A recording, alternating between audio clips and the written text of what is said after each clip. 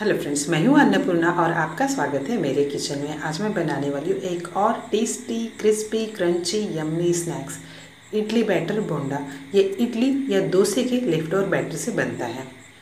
तो देखते हैं कैसे बनाते हैं। इसके लिए मैंने लिया एक कटोर इडली का बैटर नमक हाफ़ स्पून जीरा, चावल आटा दो स्पून तेल है, एक करिया पत्ती का स्ट्रिप है, बारीक कटा धनिया पत्ती, एक प्याज और हरी मिर्च, ये भी बारीक कटा हुआ है।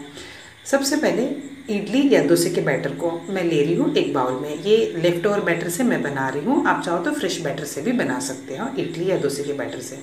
उसके बाद मैंने इसमें डाला बारीक कटा हुआ प्याज, बारीक कटी धनिया पत्ती, बारीक कटी हरी मिर्च। करिया पत्ती को भी मैं डाल रही हूँ, बट काट के डाल रही हूँ।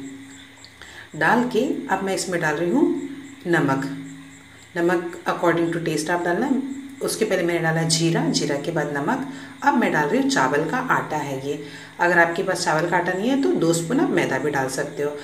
कि डालने से जो इडली का बैटर है, थोड़ा सा थिक बनेगा और जो वड़े हैं, क्रिस्पी भी बनेंगे और तेल कम सोखेंगे। तो अब मैंने इनको अच्छे से मिक्स किया। आप देख सकते हैं, ना ही ये बहुत ज़्यादा गाढ़ा है, ना ही ये बहुत ज़्यादा पतला है। बस इस कंसिस्टेंसी का हमारा बैटर होना चाहिए। अब मैंने तेल गर्म होने रख दिया है। अब मैं इसमें डाल रही हूँ हमारा इडली का बैटर मैं स्पून से डाल रही हूँ। आप चाहो तो हाथ से भी डाल सकते हो। ये तेल में डालने के बाद काफ़ी ज़्यादा फुल जाते हैं। तो आप थोड़ा कम ही डालना। अब मैंने चार बोने डाले, मैं आपको दिखा दे रही हूँ।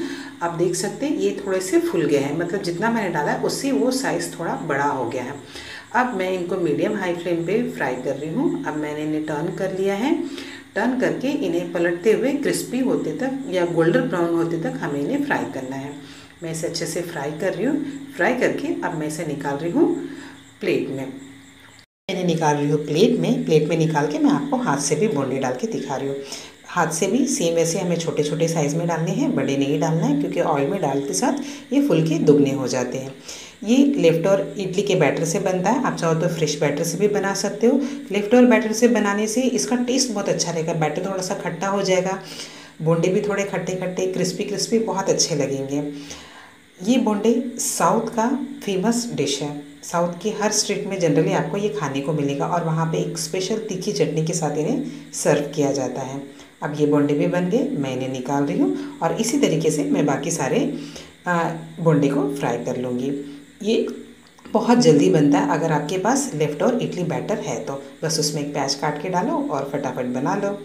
ये बोंडे भी बन गए हैं। मैं निकाल रही हूँ प्लेट में और मैंने इसे सर्व किया है, टमाटो सॉस और नारियल चटनी के साथ। आप बिना चटनी के ऐसे भी इसे खा सकते हैं, बहुत टेस्टी लगेगा। आप भी ये टेस्टी बुंडे बनाइए। अगर अच्छा लगा हो तो लाइक, शेयर और सब्सक्राइब करें। Thank you.